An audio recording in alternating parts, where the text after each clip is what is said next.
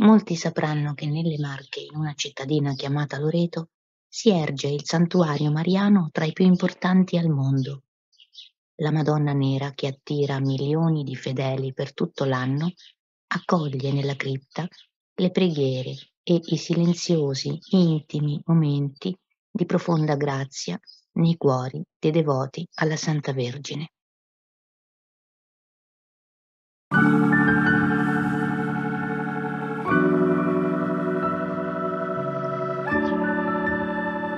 La credenza più diffusa e certamente la più romantica ci racconta che nel 1294 gli angeli abbiano trasportato fino ad Ancona, sostando prima in Croazia, le pesanti pietre della casa di Maria che, stando ai risultati delle analisi degli esperti, sembrerebbero essere proprio le pareti della vera casa di Maria. Sembrerebbe infatti che corrispondano esattamente alla data in cui lei visse.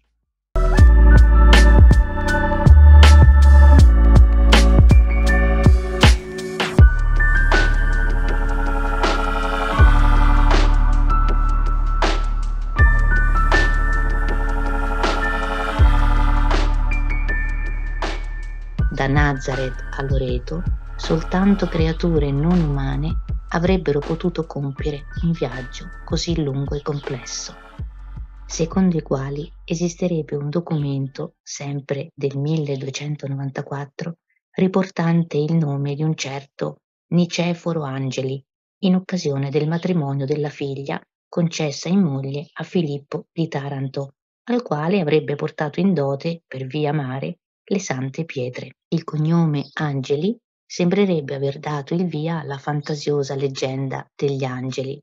Si narra che una ulteriore ipotesi fosse riconducibile al tentativo di salvare la casa dalle devastazioni musulmane di quel tempo.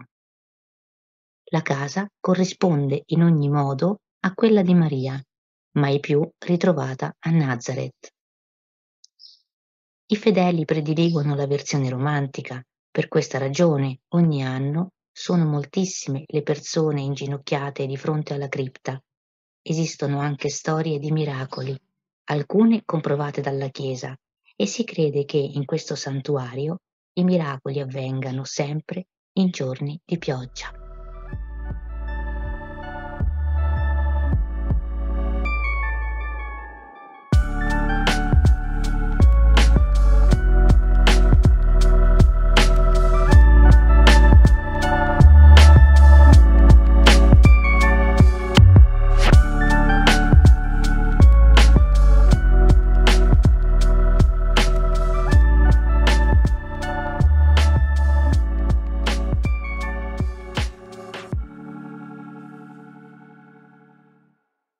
Oggi raccontiamo la storia di un bambino, Martino, nato con una deformazione alla lingua. Il piccolo aveva una lingua talmente lunga e sdoppiata nella parte finale da creargli non soltanto problemi estetici, ma funzionali.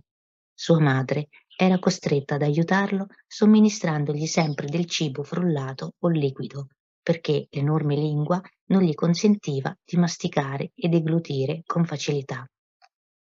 Il periodo in cui avvenne ciò risale agli anni ottanta-novanta. Un giorno fu proprio il padre di Martino a chiedere di andare a Loreto e di compiere un viaggio, anche se faticoso, Martino abitava fuori regione, affinché la Vergine Maria guarisse il bambino. Partirono la mattina e viaggiarono per tutto il giorno, costretti a rallentare il proprio viaggio a causa di una portentosa pioggia. Quando arrivarono a Loreto, dovettero parcheggiare lontano l'auto a causa della pioggia che aveva inondato parecchie vie. Finalmente arrivarono ed era già sera e fuori la pioggia non sembrava voler cessare. La mamma diede in mano al bambino un cero e gli disse Portalo alla Madonnina e chiedigli di guarirti.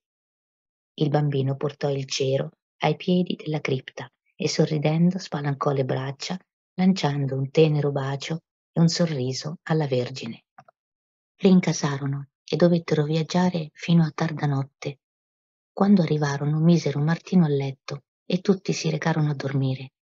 Erano chiaramente molto stanchi.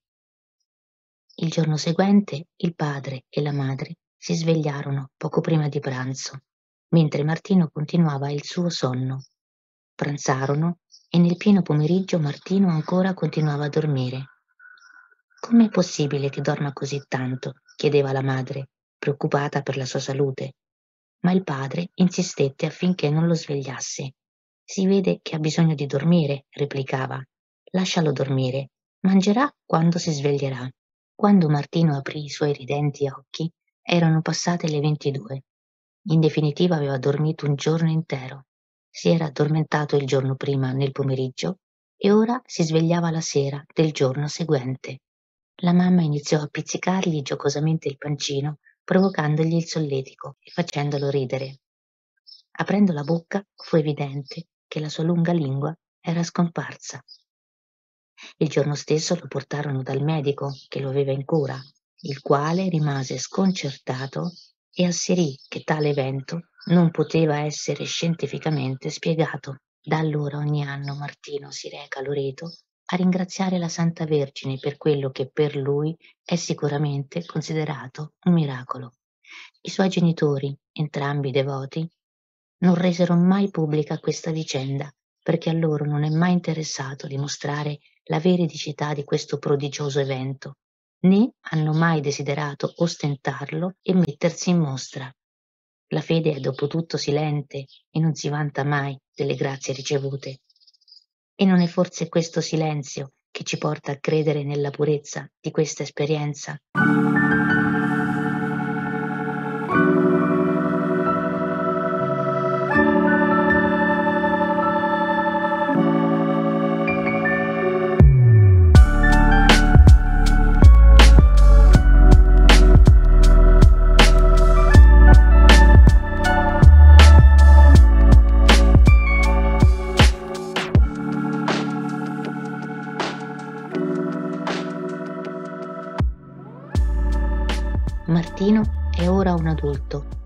Mai scritto libri per farsi conoscere, non va in televisione, non cerca notorietà come fanno certi personaggi millantatori di storie talvolta perfino inventate e che utilizzano per ricevere elogi e popolarità. La storia di Martino invece ha sorvolato gli anni nel silenzio ed io sono qui a raccontarla dopo averla ricevuta in confidenza da una sua zia. La racconto perché la trovo bellissima, da condividere per alleggerire i cuori di quanti ascolteranno, siano essi atei o di religioni diverse. Spero che l'esperienza di Martino possa intenerire chiunque, perché la tenerezza è il sentimento più caro da sentire, il più umano e divino nello stesso tempo, come la tenerezza che fa sorgere il sole ogni giorno, che fa spuntare i fiori, che trattiene l'amore in ognuno di noi.